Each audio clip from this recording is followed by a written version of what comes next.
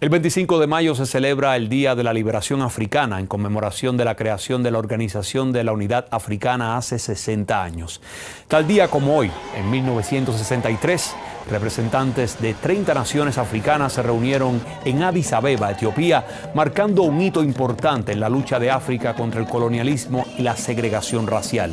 La reunión dio lugar a la formación de la Organización para la Unidad Africana, cuyo objetivo es apoyar a los que luchan por la libertad y por el fin a la ocupación militar de las potencias coloniales. En 2002, la Unión Africana sustituyó a la Organización para la Unidad Africana.